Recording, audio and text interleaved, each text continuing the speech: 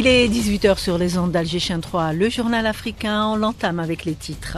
Zoom ce soir sur un haut lieu de culte et de savoir, Jamal Jazair, le plus grand d'Afrique inauguré officiellement par le président de la République aujourd'hui. Le compte rendu de Sofia Boukarcha dans quelques instants à l'état.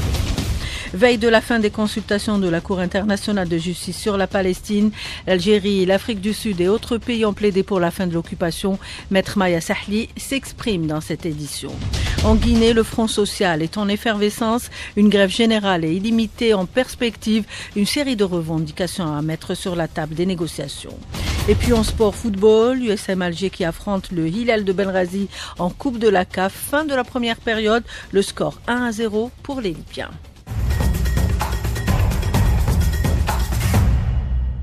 Bienvenue à tous. La une de ce premier numéro de la semaine du journal africain est consacrée à la plus grande mosquée du continent, Jamal Jazair. Il a été inauguré officiellement ce matin par le président de la République.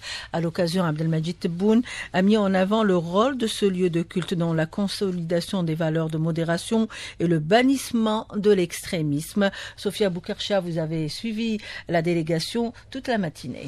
Effectivement, Linda, le président de la République lors de sa visite, a instruit les responsables de la bibliothèque à adopter des règles claires dans la validation des ouvrages à exposer afin d'éviter que les livres ne véhiculent des dérives et d'idées contraires à notre religion et tradition.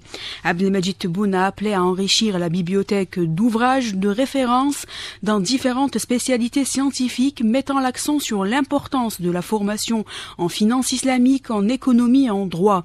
Juste avant, le président de la République a visité toutes les structures de la mosquée, à savoir le centre culturel où il a donné des instructions claires. Il a appelé les responsables de cette structure à collaborer avec les différentes institutions de l'État pour l'organisation des conférences et de colloques au regard des technologies modernes dont elle est dotée. Le minaret le plus haut au monde, 265 mètres, est le musée de la civilisation islamique qui se trouve au, 3, au 23e étage où il a été exposé euh, des livres, des manuscrits et autres pièces historiques. Ensuite, le président de la République s'est dirigé vers l'école supérieure des sciences islamiques, la maison du Coran, qui peut accueillir jusqu'à trois ans Trois ans des étudiants nationaux et internationaux. Il a visité également, également leur lieu d'hébergement. Je rappelle que le président de la République a suivi un documentaire sur les différentes installations et structures de cet édifice civilisationnel et religieux. Et au terme de sa visite, le président de la République a accompli la prière du Dohr avec la délégation qui l'accompagnait, composée de hauts responsables de l'État, des ulama, des imams, des chirs de Zawiya et ainsi que d'éminentes personnalités intellectuelles et religieuses du monde musulman. Voilà, c'était l'essentiel à retenir de ce déplacement ce matin du président de la République à Jamal Jazair. Sofia Boukarcha, vous reviendrez à 19h pour le journal de Sofiane Saouli. En déplacement en Namibie, le président de l'Assemblée populaire nationale, Brahim Bourali, a rencontré à Windhoek l'ancien président Sam Djouma et la vice-présidente de la République de Namibie, Netambu Nandine Daitoa. Les échanges ont permis aux deux parties d'affirmer la nécessité de renforcer leurs relations bilatérales. Bourali a présenté à l'occasion le président de la République aux obsèques du président namibien Ag Djengob.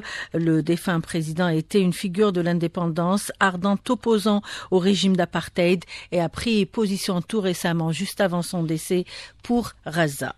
Les consultations à la Cour internationale de justice qui ont commencé la semaine dernière à La Haye prendront fin demain. Nous avons contacté à ce sujet la juriste algérienne, ancienne vice-présidente de la Commission africaine des droits de l'homme et des peuples, Maya Sahel Fadel. Euh, elle est rentrée hier de La Haye. Elle nous dresse un bilan des plaidoiries.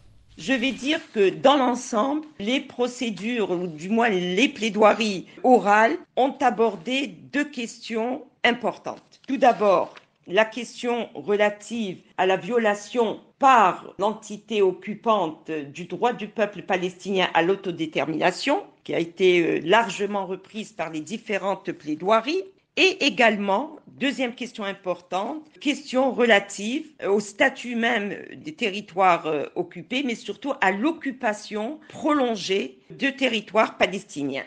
Donc c'est sur la base de ces deux questions que les plaidoiries se sont succédées. Et en ce qui concerne tout d'abord le droit des peuples à disposer d'eux-mêmes ou encore le droit du peuple palestinien à l'autodétermination, il y a eu, je dirais, un consensus quasi général à travers les plaidoiries pour dénoncer la violation de ce droit par l'entité occupante. Et ce, en évoquant dans des exposés très détaillés toutes les politiques et les pratiques qui ont empêché la réalisation effective de ce droit. D'abord, c'est une expression euh, juridique, ce droit étant considéré comme étant une obligation erga omnes, c'est-à-dire une règle impérative qui s'impose à tous les États et qui ne peut souffrir d'aucune dérogation. Or, il se trouve que les politiques suivies par l'entité occupante ont empêché graduellement, progressivement et dans le temps la réalisation du droit du peuple palestinien à l'autodétermination.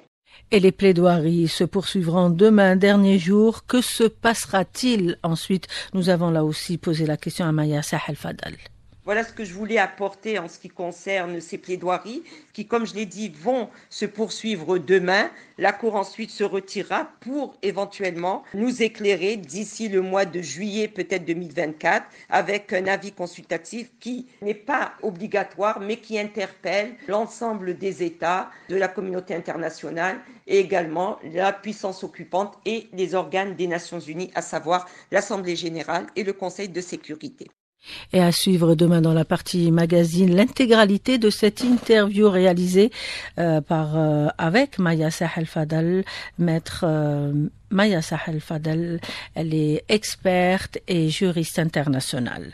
Le poste frontalier avec le voisin mauritanien désormais opérationnel, le poste Shahid Mustafa Ben Boulaïd est en effet ouvert à la circulation des personnes de et vers la Mauritanie. Toutes les dispositions nécessaires ont été prises parallèlement à son ouverture au mouvement commercial, comme le souligne le wali de Tindouf, Mustafa Daou, euh, contacté par Hafid Ahmouch. Après l'inauguration du poste frontalier, une affluence remarquée des commerçants a été constatée. Plus de 23 camions de marchandises ont emprunté ce passage à destination de la Mauritanie. Le passage des camions a été supervisé par la police et la douane en un temps record. Nous avons également enregistré le passage de deux ressortissants de nationalité européenne de la Mauritanie vers l'Algérie.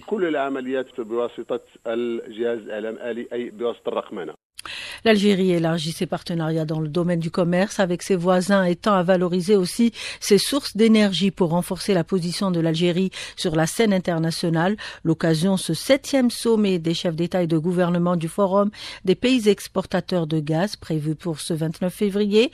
En prévision de ce rendez-vous, Liestel s'intéresse ce soir au grand projet du gazoduc transsaharien.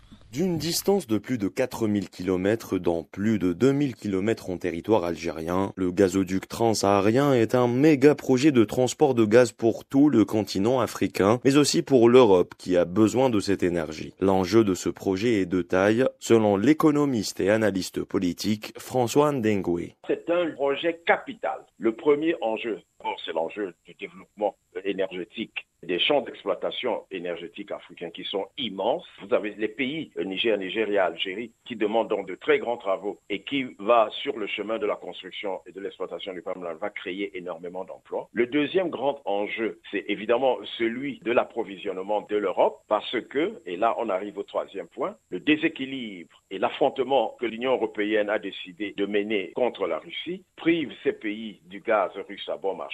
Donc ce gaz va arriver et sera, n'oublions pas, probablement et très sûrement en concurrence avec des gisements euh, gaziers en provenance notamment du Qatar. Le ministre nigérian des Affaires étrangères a affirmé le mois de décembre dernier à Oran que le projet du gazoduc transsaharien réalise des progrès significatifs et notables. Pour rappel, le gazoduc compte fournir 20 à 30 milliards de mètres cubes de gaz aux marchés mondiaux annuellement.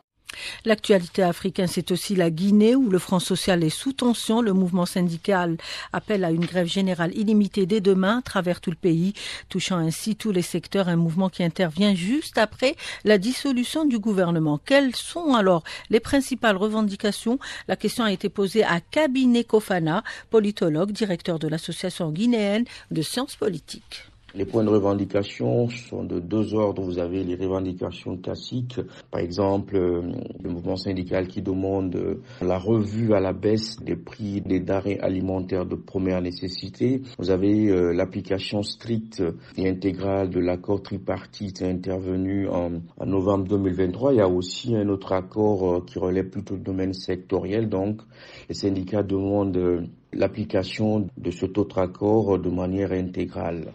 Les journalistes sont également appelés à suivre ce mouvement de grève pour exiger la libération du secrétaire général du syndicat des professionnels de la presse le syndicat des médias affilié à une des centrales syndicales. Et donc, euh, on demande tout simplement que ce journaliste soit libéré parce que ce journaliste a revendiqué avec donc son association la levée des sanctions sur les médias et puis euh, la levée aussi des restrictions sur donc euh, les médias. Donc cela vient s'ajouter aux revendications de la centrale syndicale voilà, c'était Kobine Kofana, politologue, directeur de l'Association guinéenne des sciences politiques au Tchad. Situation quasi similaire. Le pays a observé une grève depuis maintenant une semaine euh, pour protester contre la hausse des prix du carburant. Dernier jour demain.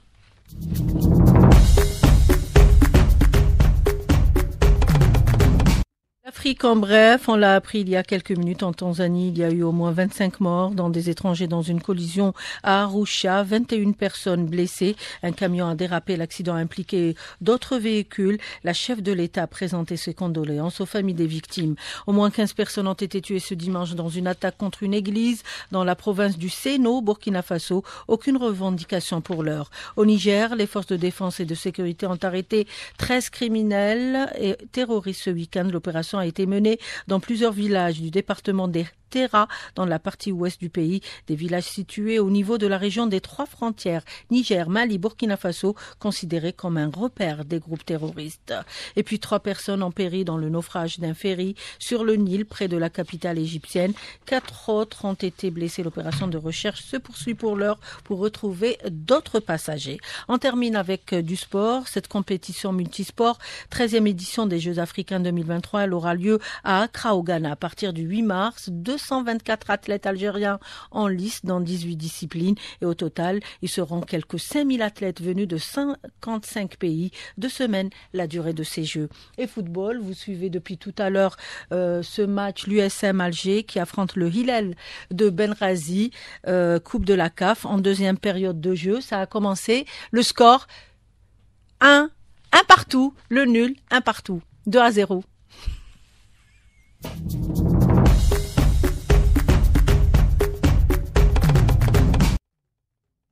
Match sera commenté par euh, Fethi Bendali et Shaban Maraskan. Restez avec nous. C'est la fin de cette édition 18h. Bientôt 13 minutes sur les ondes d'Alger 3, réalisée par Selma Figuir.